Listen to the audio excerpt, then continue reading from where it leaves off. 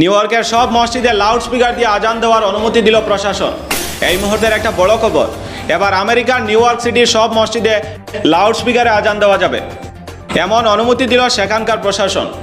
শুধু তাই নয়, সব মসজিদ সহ ইসলামিক সেন্টারের জন্য লাউড স্পিকার ব্যবহার করা যাবে। নিউ ইয়র্ক সিটির ডেপুটি পুলিশ কমিশনার মার্ক স্টুয়ার্টের জারি করা এ সংক্রান্ত একটি বিজ্ঞপ্তিতে একতা ঘোষণা করা হয়েছে।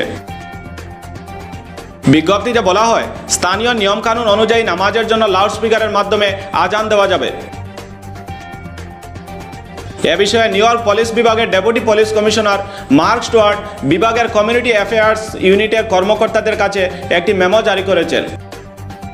পিপা নিউজ নামের একটি অনলাইন সংবাদ মাধ্যম জানায়, কয়েক মাস আগে নিউ ইয়র্কের কিছু ইসলামিক সেন্টার এবং মসজিদে লাউড স্পিকারে আজান দেওয়ার অনুমতি দেওয়া হয়েছিল। কিন্তু এখন ধর্মীয় স্বাধীনতার অধিকারের গুরুত্ব ব্যাখ্যা করে সব মসজিদে আজান দেওয়া যাবে লাউড স্পিকারের মাধ্যমে। তবে এখানেও কিছু শর্ত বেঁধে দেওয়া হয়েছে। বিজ্ঞপ্তি অনুযায়ী এই অনুমতির অপব্যবহার করা যাবে না। অর্থাৎ শব্দের সঠিক মাত্রা বজায় রাখতে হবে। তবে বড় যে শর্তটা আরোপ করা হয়েছে, সেটা হলো, এশা এবং ফজরের আজান দেওয়া যাবে না। কেননা বিজ্ঞপ্তির শেষে সেটা পরিষ্কার করে দেওয়া হয়েছে। বলা হয়েছে, সূর্যাস্তের পরে লাউডস্পিকার ব্যবহার করা যাবে না।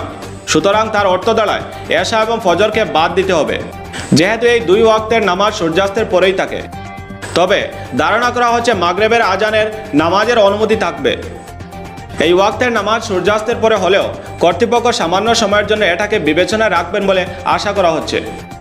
সে যাই হোক, বিশ্বের রাজধানী হিসেবে পরিচিত নিউ ইয়র্ক শহরে এত বড় একটা অনুমতি পেয়ে স্বভাবতই আপ্লুত সেখানকার মুসলিম বসবাসকারীরা। এ নিয়ে নিউ ইয়র্কের মুসলিম আমেরিকান সম্প্রদায় নিউ ইয়র্ক পুলিশ বিভাগের বিজ্ঞপ্তিকে স্বাগত জানিয়েছে এবং পুলিশ বিভাগ ও মেয়র এরিক অ্যাডামসের প্রশাসনকে ধন্যবাদ জানিয়েছে। প্রসঙ্গত উল্লেখ্য, নিউ ইয়র্ক সিটিতে সাড়ে সাত মিলিয়নেরও বেশি মুসলমান বাস করে থাকেন। সেখানে তিন শতাধিক মসজিদ ও ইসলামিক কেন্দ্র রয়েছে।